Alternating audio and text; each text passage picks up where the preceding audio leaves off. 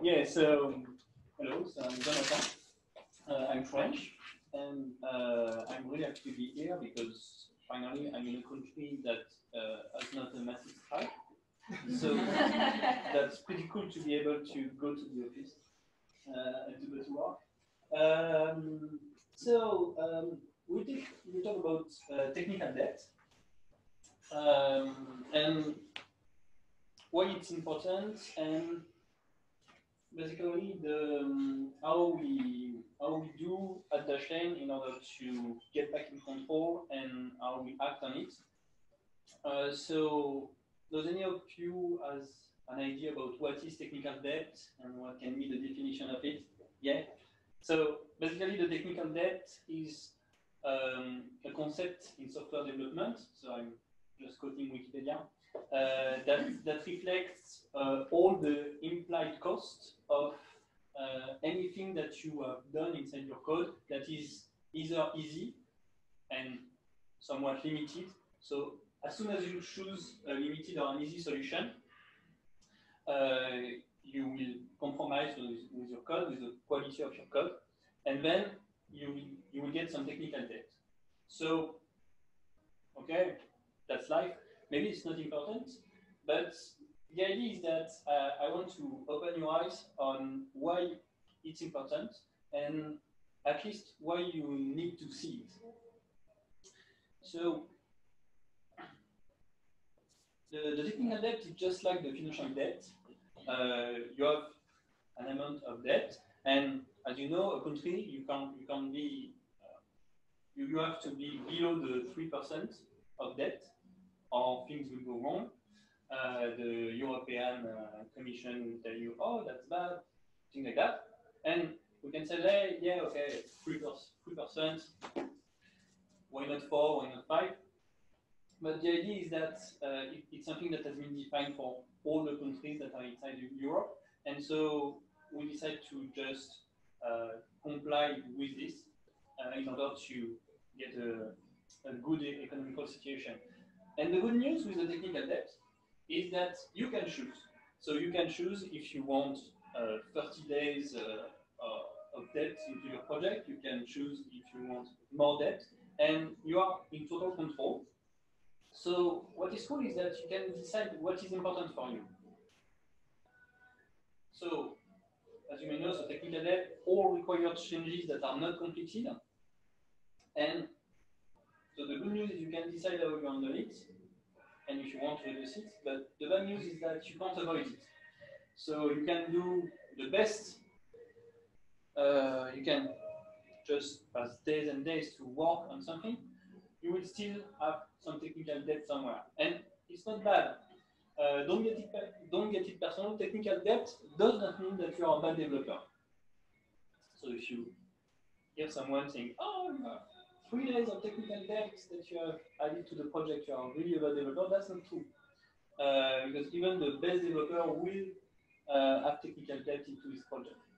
That's just something you, you can't avoid because you are not perfect. Maybe someday we will be replaced by a machine that will cut for us and be perfect, but as soon as we are human, we do mistakes. So, uh, and in a project, at some point, you need to ship it. So we can work on the code for years. It will never be, perf be perfect, so we have technical debt. But that's not a bad thing. And so you, you decide, for, for instance, uh, you, you can decide that you want to have a really high test coverage, or you can decide that it's not important. Uh, same thing if you if you are just alone on your project, maybe you don't want and you know that it will be your project, no one will ever work on it. Maybe you don't want to spend time on documentation, and so you will have technical debt about documentation. But is it really mandatory? Is it really important? Maybe for your project it's not, because you will be the only one to uh, to use it. So maybe it will be a bit harder to maintain when you come back to it after three years, but it will not be so bad, and you might don't want to take time to you may you might don't want to spend time on it. That's really your choice.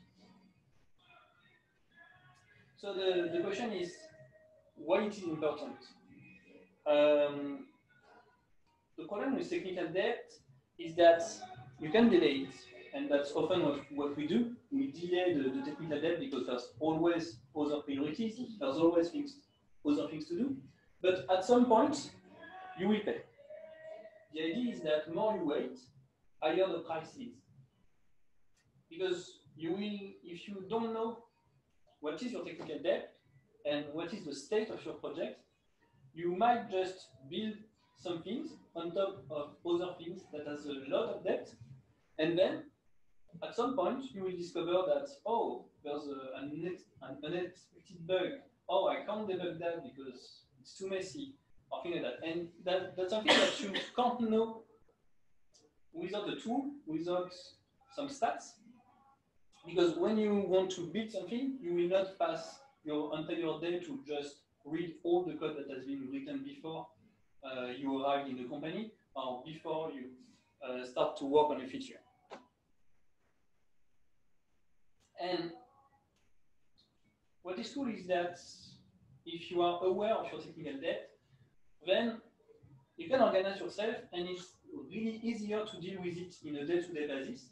And it will be better for you because you will know that, oh, okay, if I build something on top of this old feature, this old legacy feature that has been built five years ago, well, I may have some issues. Maybe it's time for refactor. And so the issue of the technical debt is it's not only economical. Like it's not only uh, you are losing uh, some uh, some people into from your app because the app is just crashing because you have too many technical debts, you have bugs everywhere, and the experience is not good. It's not only that. It has a lot of costs, including performance, security, all the things related to reliability, and it's, it's also uh, really hard to maintain a code that no one has refactored for a very long time. And when I talk about performance, it's not only performance of your code, performance of your app. It will be also performance when you code.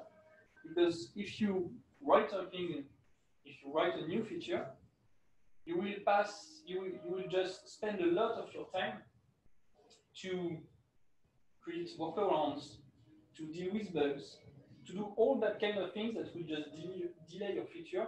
And at the end of the day, you might not ship it in time.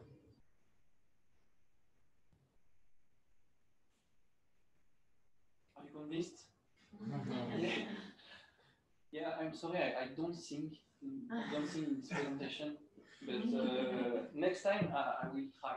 I, can, I can organize karaoke, and I'm not that so I will think about that uh, next time. So how to get back in control. So we talk about SonarQube. Have you already heard about SonarQube? Yes, no? So SonarQube, uh, it's a tool that is a static code analysis. So the idea is that you have 27 languages that are supported today. And you have this tool that you can launch. And then if we, you just put your project into SonarQube, it will run an analysis, and you will get uh, a result of all the things. And it will give you really an overview of your project, where you are, and how you can improve your project. And what is really cool is that you can even integrate it into your CI. Uh, if you if you go further, you can even decide that when you if you use GitLab, if you use uh, GitHub or something like that, uh, you can have some uh, feedbacks on the code that you wrote directly into your merge request, just as a regular command. You can even integrate it into your build uh, and decide that, okay, the build will not pass if I don't hit this quality gate. So we will talk about that. So the first thing that I recommend is, uh, and, and that's what we have done at Dashlane some years ago, about two or three years ago, uh, is how bad it is. So the first thing to know is, do you have, do you have technical debt? So spoiler, yes. Uh, but we don't care about that. It's how bad. What is the, the amount of technical debt that I have? So that's what we have in the Dashlane Android project. Yeah, by the, by the way, I'm an Android developer. So we might talk about JavaScript. But uh, um, so that's uh, the state of the Android uh, project some years ago. So as you can see, we have bad ratings, we have code smells. So we have the bugs, so you know what the bugs are. The code smells is are all the things that are not really well done or not uh, done properly, things that you can change. It, it, it includes all the things about maintainability, reliability, and all the performance stuff and things like that. And vulnerabilities, uh, it's more about security. Uh, but it's more general. It's not only like uh, some, something that you can something that you can just uh, go around. It's more vulnerabilities into your code, like things uh, if you can uh, have another type than the one that you are expecting, or things like that. So it, you, you, have a lot of things into this vulnerability section. So as soon as you have that, let's say where to start. So the, first, the first thing that we decided to do is stop the bleeding. So the so we we have now this result.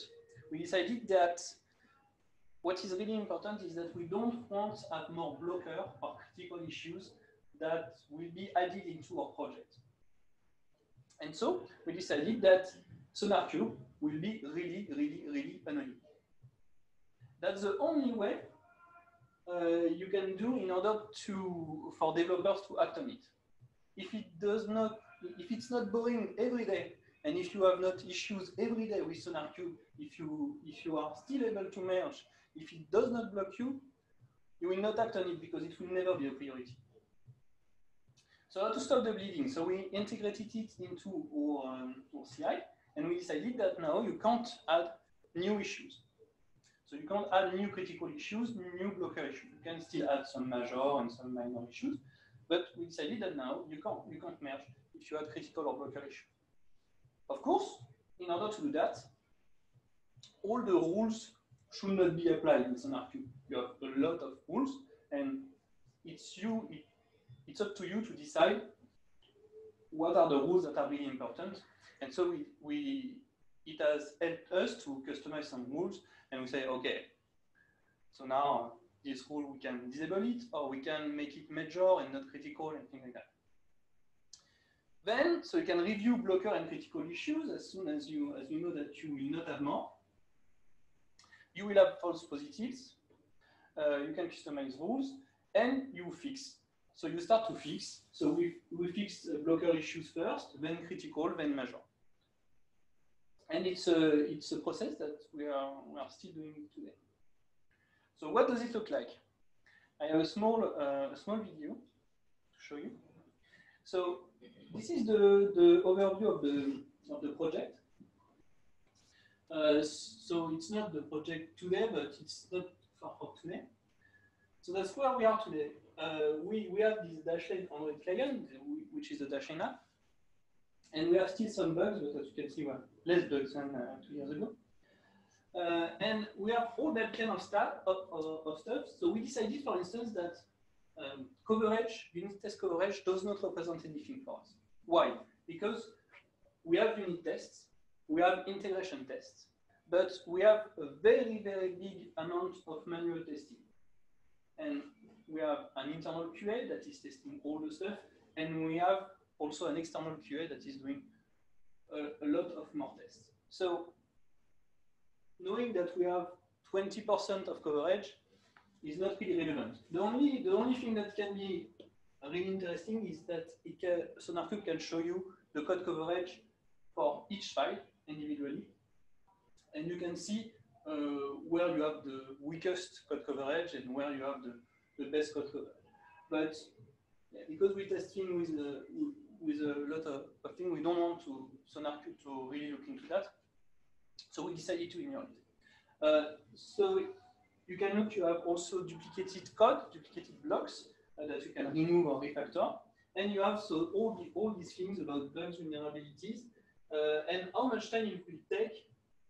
So it's not really reliable, but it's an indicator, just a stat, that uh, will say you, yeah, you have uh, 82 days of debt and you should do something about it. And you have even a rating. So uh, 82 days of debt is pretty good, it seems. Uh, so don't worry. And so each time we, we build our, our master branch, uh, we have this uh, SonarQube, this SonarQube that analysis that is running. And what is really cool is that we can uh, see over time well, what it looks like. So for every version, uh, every day, uh, we know if we are if we are getting better or not, and we can really see the state of the project. So after that, uh, so you, you can you can look at, at your depth, and I really like this screen because here you can see where you have the most depth. And so today, if I want to uh, work something on the camera, for instance, if I have a new feature that I want to write that will use the camera, I know that uh, maybe uh, the, the, the way we have implemented the, the, the camera and all the, all the pictures taking inside the chain is not the best, and I, I might want to refactor or to use a new library or things like that. Uh, and, and, so you can, you can really uh, see the state of the project, and as soon as you have to touch a file, you can look at this and see, okay, uh, the technical depth is, uh, is good or not good, uh, should refactor something. Uh, you can also filter all the issues that you have. So what is really cool is that you can filter by type, but you can also filter per severity.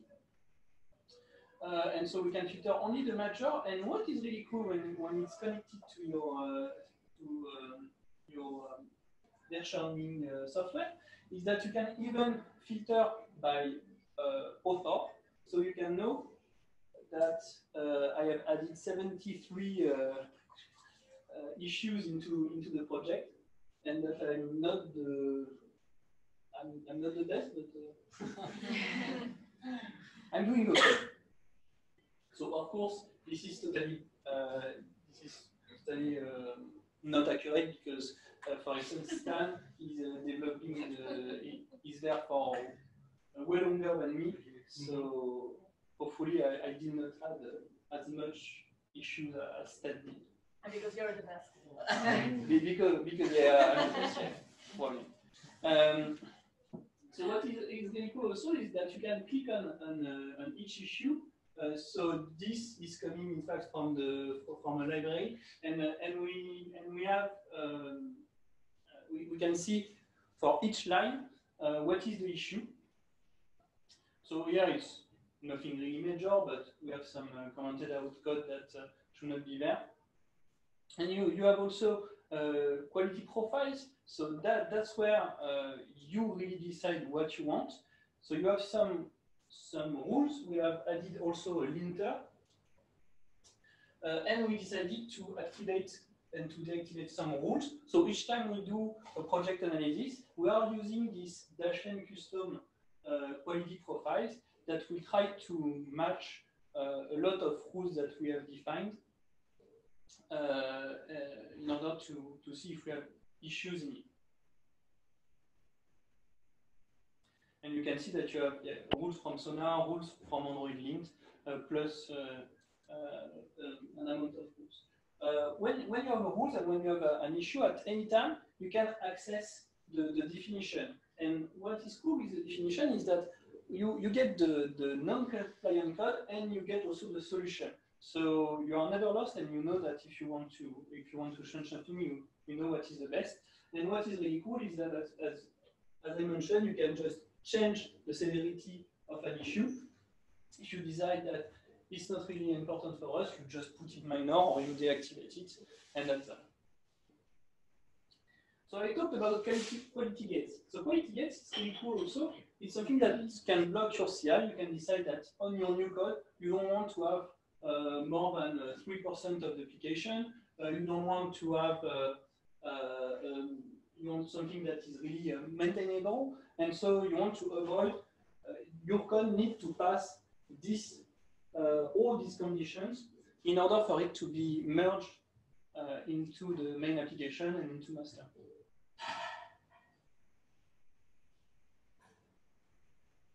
So the this is the, the example of how we have uh, integrated the uh, Sonar into GitLab. So as you can see there, you, we have a commit and there's uh, if statement that can be merged. And so Sonar is able to uh, spot this. So I'm still on my branch, it's not merged yet to master, and I get some comments uh, on the files that have changed uh, to let me know that I can improve something, and I and I get pinged also.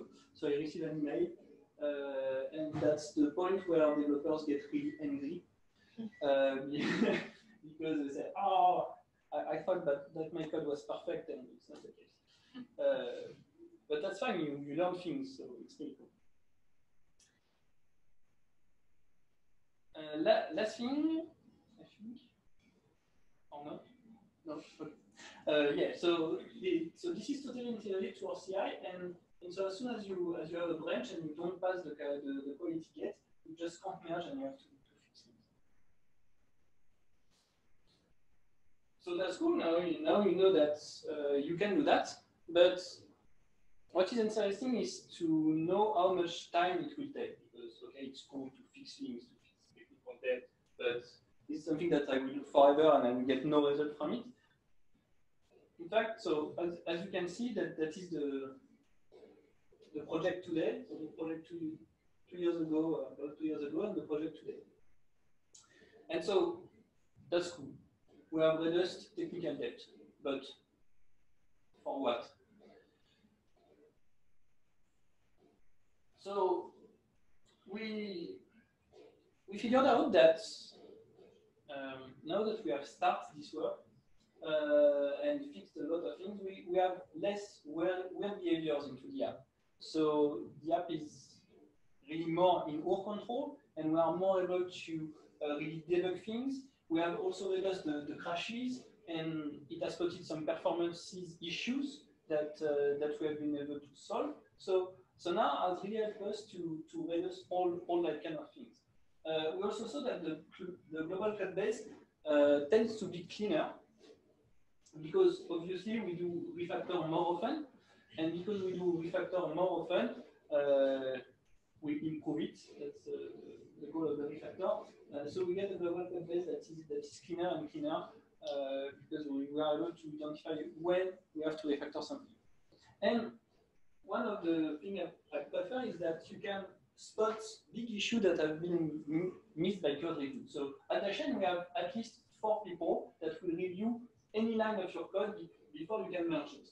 But still, even with uh, all these people that are just uh, looking at your code, you can you can miss uh, something.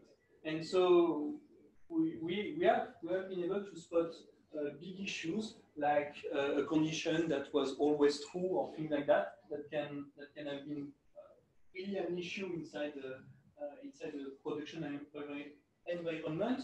we have been able to know, for instance, that somewhat, sometimes we were writing some files into an external storage, and so that you might access uh, to some user data that you should not access. Uh, and all that kind of thing has been, have been completely missed by code reviews, but has, has been spotted by Sonar, uh, and we have been able to fix it before it goes to production. And we have learned a lot of things about our code as well. Uh, that would be very hard to find otherwise. So what should be refactored, refactored the current vulnerabilities, uh, all the things that, that you don't see a lot, like all the useless conditions, all the code paths that, that you have but that is not used at all. So it has been really great for us, and that's why today you can use SonarQube or anything else. I don't, I don't have uh, any uh, stock option uh, for SonarQube, but uh, I think it, it's really good to, uh, to, to just start to really look into it. And just one thing about SonarQube, you have a developer edition that is a community edition that is totally free, and that is really enough uh, for you to start. So if you are convinced uh, you can just start right now. And it's not a lot of work. You can just go to SonarQube. There's a guide to get started in two minutes. And if you, are, if you do uh, JavaScript, it's really, really uh, easy and fast to do. You can just analyze your project. So what is really cool is that you can just start uh, an instance of uh, the SonarQube server into your local machine, drop your project in it, and it will analyze it, and, and, and you will get first result.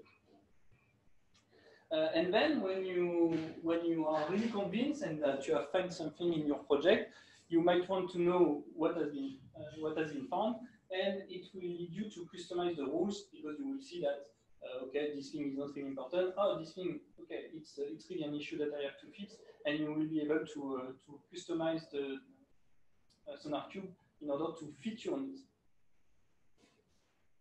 And then if you if all these topics are really interesting for you and that you want your, your team uh, to take care of, of all of this, uh, you can integrate to your CI. So if you want to integrate to your CI, you will probably have to go to a paid version. But uh, it, it is really useful uh, because you get uh, really the, the full power of, um, of the code analysis uh, and you get rid of all the issues that you might add without even uh, knowing that uh, this issue exists. So that's it for today.